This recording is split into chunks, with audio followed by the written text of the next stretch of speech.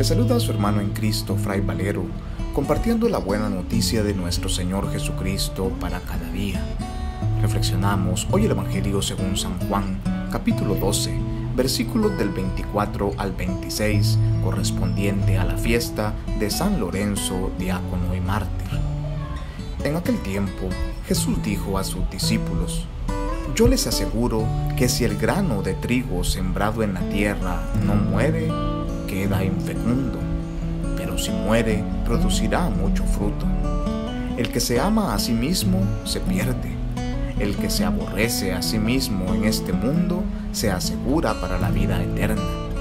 El que quiera servirme, que me siga, para que donde yo esté, también esté mi servidor. El que me sirve será honrado por mi Padre.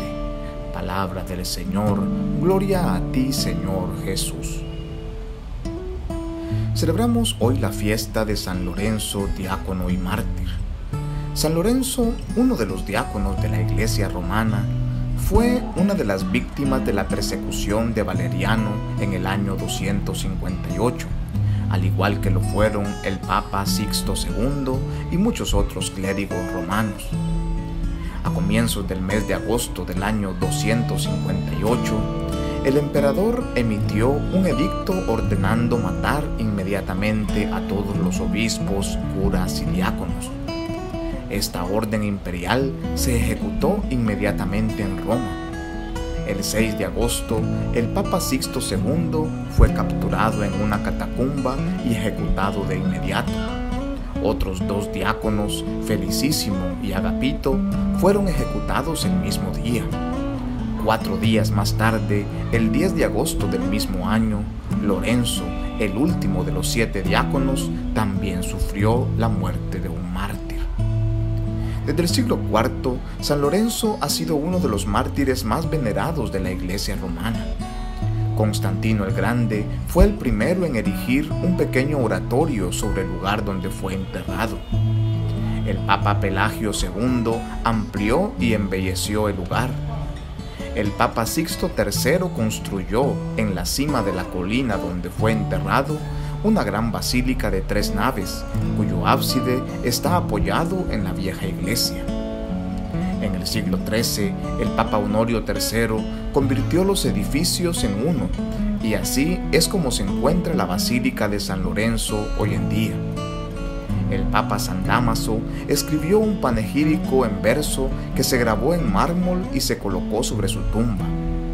Dos contemporáneos de este Papa, San Ambrosio de Milán y el poeta Prudencio, dieron detalles concretos sobre la muerte de San Lorenzo.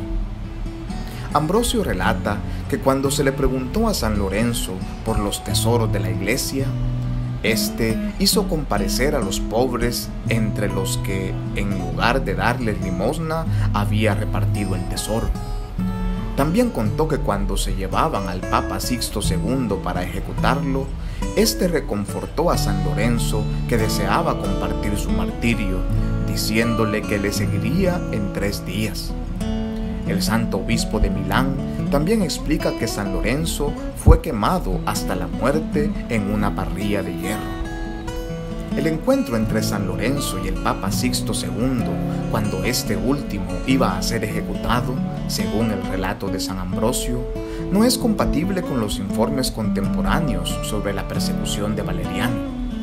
La forma en que fue ejecutado, quemado en una parrilla de hierro al rojo vivo, también hace surgir importantes dudas. Las narraciones de Ambrosio y Prudencio se basan más en la tradición oral que en escritos. Es bastante posible que entre los años 258 y el final del siglo IV surgieran leyendas populares sobre este diácono romano tan venerado, y que algunas de esas historias hayan sido preservadas por estos dos autores. En cualquier caso, se carecen de medios para verificar en fuentes anteriores los detalles que derivan de San Ambrosio y Prudencio, o para establecer hasta qué punto esos detalles se basan en la tradición histórica anterior. Sin embargo, la tradición aceptada hasta nuestros días es la versión ofrecida por San Ambrosio y Prudencio.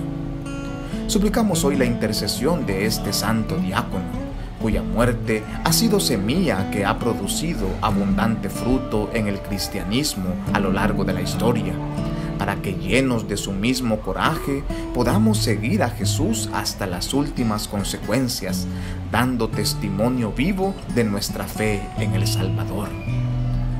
Oremos. Dios nuestro, por cuyo ardiente amor resplandeció San Lorenzo en la fidelidad de tu servicio y en la gloria del martirio. Haz que amemos lo que Él amó y pongamos por obra lo que Él enseñó. Te lo pedimos por Jesucristo, tu Hijo, nuestro Señor. Amén.